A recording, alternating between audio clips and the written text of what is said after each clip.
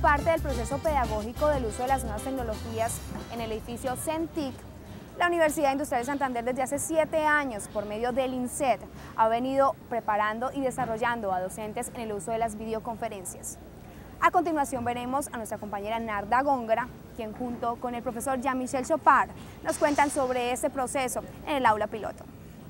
Hablemos un poquito de, esa experiencia, cómo ha sido pues, romper con lo que, a lo que están acostumbrados la mayoría de docentes.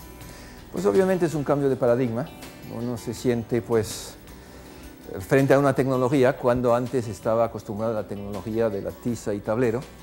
Ese momento pues uno está en un entorno con equipos que tiene que controlar a la vez que tiene que buscar facilitar la interacción entre las diferentes personas que están vinculados en el proceso de videoconferencia. Obviamente un grupo que puede estar aquí con nosotros y los diferentes grupos que pueden estar en sedes de la UIS o en eh, localidades de Colombia o del extranjero. Doctor Yamichel, cuéntenos cómo funciona esta... Explíqueme a la gente toda este, esta cantidad de aparatos que tenemos, la cámara. Aquí tenemos el panel de control, que es desde donde se manda todo el sistema. ¿eh? Obviamente hay una unidad principal que está escondida por allá, pero desde aquí se maneja esa unidad. Entonces tenemos una cámara enfrente del profesor, del docente, ¿eh?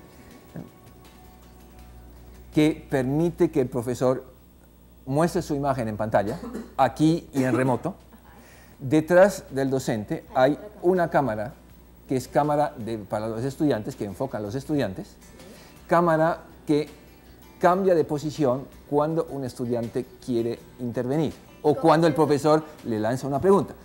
Veamos con Jorge Winston.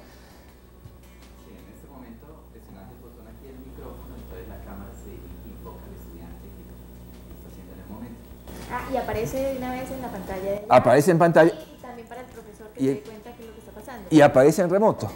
Todo esto es como la base, la experiencia que ha tenido el INSET, es como la base para lo que viene ahora para la UIS con el Centro de Tecnologías de la Información y la Comunicación, en la que más que un edificio inteligente es todo un proyecto pedagógico apoyado en tecnologías. Hablemos un poquito de eso. Ante todo es un proyecto pedagógico y debe ser un proyecto pedagógico mediado por tecnología y no a la inversa. Tecnología que medie la pedagogía. Eh, obviamente cuando usted hace referencia a que eso es la base, la base arranca de algunos años atrás, en los años, principios de los años 90, cuando el INSER experimentó con la audioconferencia, que poco a poco nos llevó a la videoconferencia y sobre la marcha y el desarrollo de Internet y páginas web y todos los mm, programas informáticos eh, sobre protocolo Internet, nos llevan a reflexionar sobre una pedagogía innovadora donde el verdadero centro del aprendizaje es el estudiante y el profesor tiene que asumir unos roles para los cuales no ha sido preparado todavía. Ya me entendió Michelle, como una invitación como a lo que es este nuevo proceso, a no tenerle miedo a incursionar en, en aprovechar, sobre todo eso, aprovechar estas tecnologías. Obviamente tiene que haber un proceso de formación. El docente tiene que aceptar sus limitaciones en cuanto al manejo de esas nuevas tecnologías, tiene que familiarizarse con ellas, y en un momento dado tiene que ser estudiante en entornos virtuales. Vivir la misma experiencia que vivirían los estudiantes, pero vivirlo ellos mismos para saber cómo pueden reutilizar esa experiencia en el diseño de las actividades que le propondrán a sus, eh, a sus estudiantes. Eso exige mm, paciencia, mucha concentración, eh, tiempo y mucha paciencia. Es un reto que vale la pena. El reto vale la pena y es un reto que obviamente se inserta dentro de la globalización.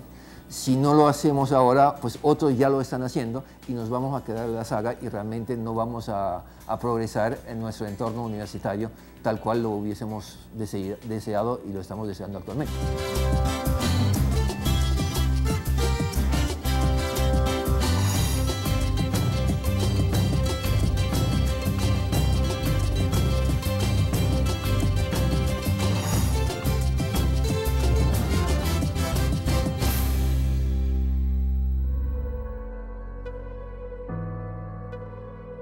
UIS Memoria, Patrimonio Audiovisual Histórico de la Universidad Industrial de Santander.